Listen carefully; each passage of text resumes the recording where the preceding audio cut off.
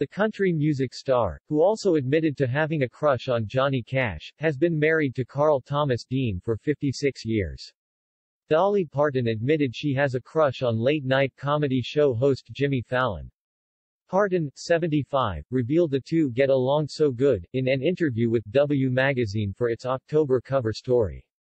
Well, I have a crush on Jimmy Fallon, but I am big now, I can't excuse myself on that. Parton told the outlet. I think he is precious. He's so funny. We get along so good.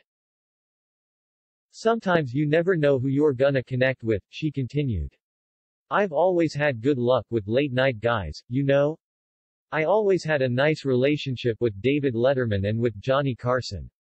I guess there's something about that late-night people that kinda hits my fancy and I hit theirs somehow. I guess it's cause you feel like you can be more free late at night.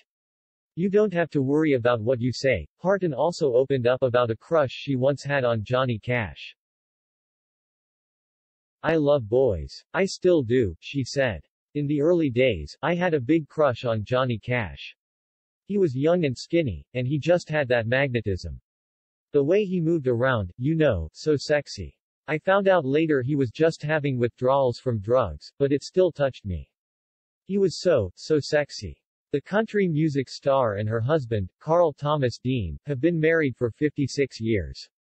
For Dean's 79th birthday, Parton recreated her iconic Playboy cover.